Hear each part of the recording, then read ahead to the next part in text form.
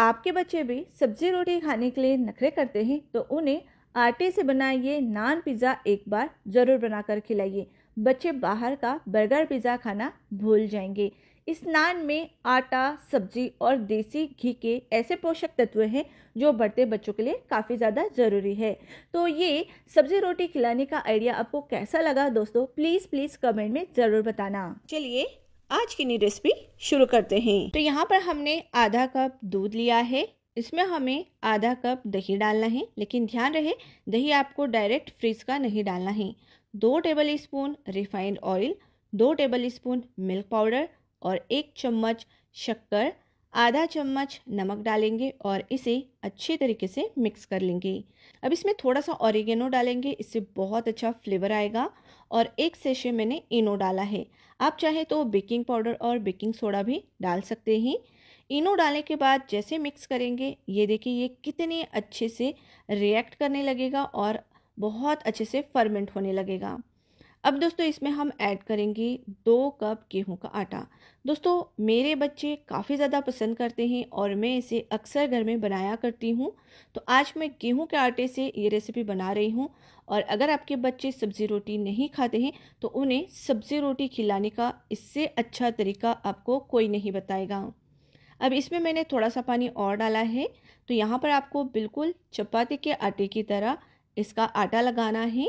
और इसे 10 से 12 बार पटकना है, ताकि हमारा जो आटा है वो काफ़ी अच्छे से सॉफ्ट हो जाए और एकदम मुलायम बनकर तैयार हो। इसे ढककर हमें 15 से 20 मिनट के लिए रखना है, तब तक हम स्टफिंग तैयार करेंगे। तो यहाँ पर मैंने पैन लिया है, इसमें थोड़ा सा आपको तेल लेना है, बस एक चम्मच जितना, और इसमें हम डालेंगे बारीक कटी हुई लहसुन की कलिया। अब लहसुन को हमें अच्छे से ब्राउन होने तक पकाना है जैसे ये ब्राउन होगा, हमें इसमें बहुत सारी सब्ज़ियाँ डालनी हैं। लेकिन आपके पास जो सब्ज़ियाँ हो, वो आप डाल सकते हैं।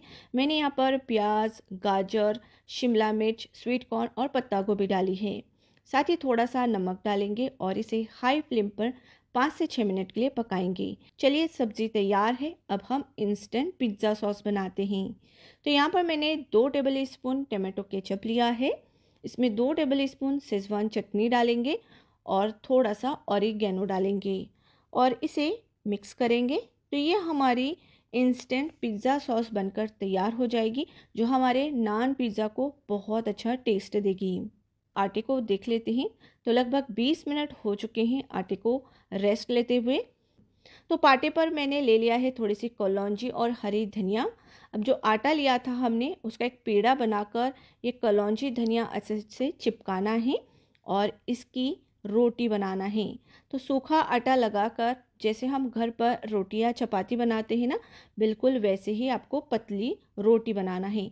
इस, इसे उल्टे साइड कर लेना है। मतलब जहाँ पर धनिया और कलौजी लगाई है ना, उसके उल्टे साइड हमें ये पिज़्ज़ा सॉस लगानी है, जो हमने अभी घर पर बनाई है। अब इसके अंदर आप मोजरेला चीज़ या प्रोसेस चीज़ डाल सकते हैं। वैसे ये भी हेल्दी होता है, इसमें प्रोटीन और कैल्शियम होता है। साथ ही साथ बनाई हुई सब्ज़ी डालनी है और इसे फोल्ड करना है। तो अब देखिए, हम इसे बिल्कुल ट्रैंगल शेप में फोल्ड कर रहे हैं और अच्छे से इसे फोल्ड करने के बाद ये देखिए, ये हमारा नान पिज़्ज़ा बनकर तैयार हो चुका है, जो बिल्कुल हेल्दी तरीके से बना है। इसमें आटा, साथ ही साथ सब्ज़ियाँ और चीज़ है। तो लगभग तीन मैंने नान बना लिए हैं और यहाँ पर मैंने एक किचन नैपकिन ले लिया है।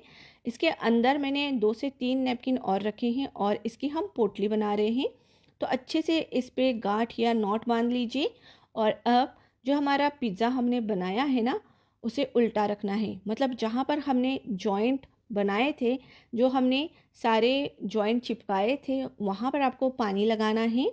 पानी लगाने के बाद हमें इसे गर्मा गर्म तवे पर चिपकाना है। तवे पर दो से तीन नान एक साथ चिपका कर इसे सेक सकते हैं। लेकिन मैं आपको दो तरीके से ये पिज़्ज़ा नान सेक कर दिखाऊँगी। एक बनाएँगे हम तवे पे और दूसरा तरीका कुकर में देखेंगे।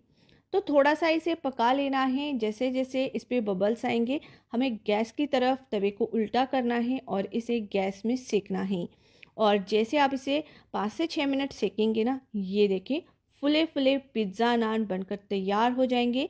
और जैसे आप इसे निकालेंगे ना, उल्टी साइड भी आप देखेंगे, बहुत अच्छे से ये सिका है, बिल्कुल तंदूर जैसा ही ये लग रहा है। ऐसा लग रहा है कि हमने इसे तंदूर में पकाया है। और ये देखिए दोस्तों इसे हमने प्लेट में रख दिया है। इसके ऊपर आपको देसी घी लगाना है दोस्तों। जी हाँ जो हमारा हेल्दी पिज़्ज़ा नान है ना, उसे और हेल्दी बनाने के लिए हमने इसमें देसी घी लगा लिया है। इस तरीके से बच्चों को आप सब्ज़ी, रोटी, देसी घी बहुत आसानी से खिला सकते हैं और अगर आप उनके टिफ़िन में देंगे तो आपका टिफ़िन हमेशा खाली ही नज़र आएगा। बहुत बच्चों को पसंद आता है। अब दूसरा तरीका कुकर में देख लेते हैं। तो नान के ऊपर फिर से आपको पानी लगाना है और कुकर में एक एक एक एक नान आपको चिपकाते जाने हैं। तो एक साथ मैं यहाँ पर चार नान चिपका रही हूँ। अगर कुकर बड़ा है तो आप पाँच से छः नान एक बार में चिपका सकते हैं और इन्हें सेक सकते हैं। जैसे जैसे ये पकेगा, ये फूलने लगेगा और जैसे ये हल्का फूलेगा ना, हमें इसे उल्टा करके गैस की तरफ़ सेकना है। मतलब कुकर को उल्टा करना है और अच्छे से गैस की आँच पर इसे सेकना है। तो जैसे मैंने इसे दो से तीन मिनट रखा तो ये देखिए दोस्तों, ये फूलने लगे हैं, लेकिन अभी ये अच्छे से पके नहीं हैं।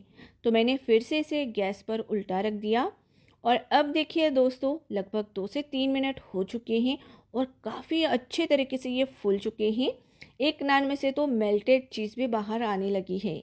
आसानी से ये कुकर से भी निकल जाते हैं और बहुत बहुत अच्छे कम समय में ये पिज़्ज़ा नान बनकर तैयार हो जाते हैं।